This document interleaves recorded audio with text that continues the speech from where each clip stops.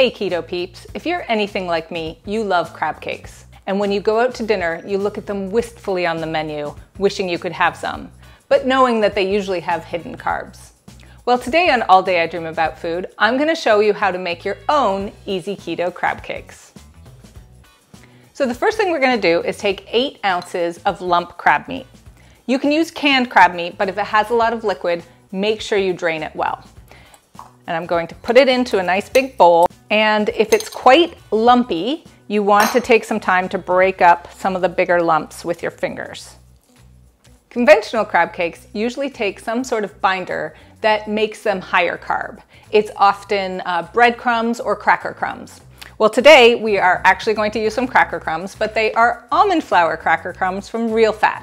You can also use just regular almond flour or even crushed pork rinds. You want a quarter cup of those. Then we're gonna add some chopped parsley and I'm adding in about two tablespoons and one green onion nicely sliced and some Old Bay seasoning. I have half a teaspoon here. Now, because my cracker crumbs uh, have some salt and flavorings in them, I'm not gonna add any additional salt.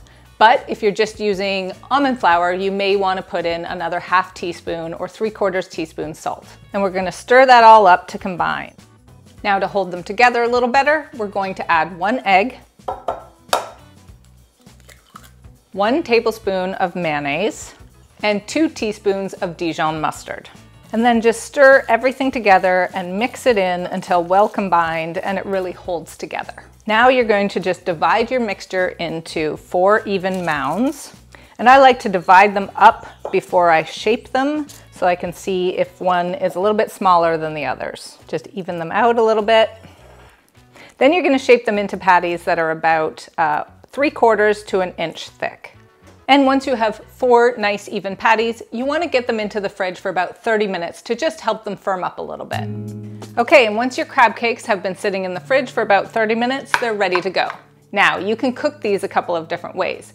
You can do it in a skillet and you want to set it over medium heat and melt some butter and fry them about three to four minutes per side. But today we're going to use an air fryer. Now my air fryer happens to be an Instant Pot with the air fryer lid. So the first thing you wanna do is brush your air fryer basket with a little oil so things don't stick. Then you're also going to brush your crab cakes on both sides with a little bit of melted butter. This will ensure that they get beautifully browned and golden in the air fryer. Now my air fryer is so small that it will only hold two of these at a time, but a lot of air fryers will hold all four. Just put that butter side down and put a second one in. I could maybe squeeze a third one in. Ooh, maybe I could squeeze all four. No, not quite gonna do it. Three is the upper limit for this one.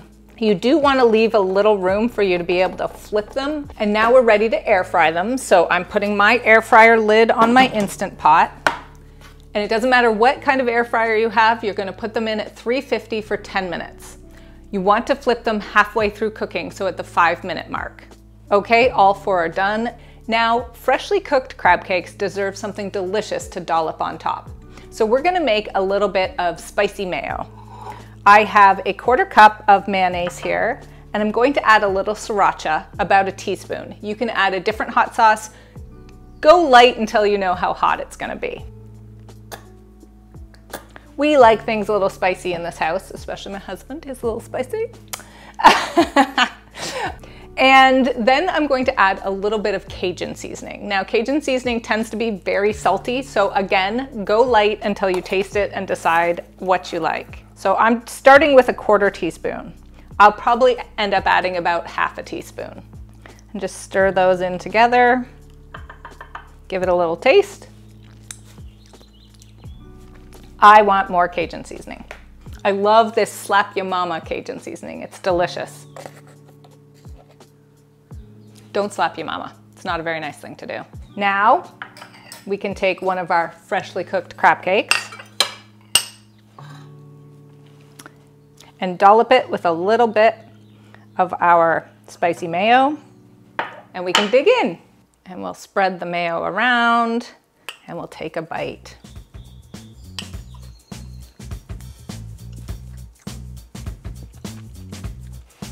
Is there such thing as a crab cake dance?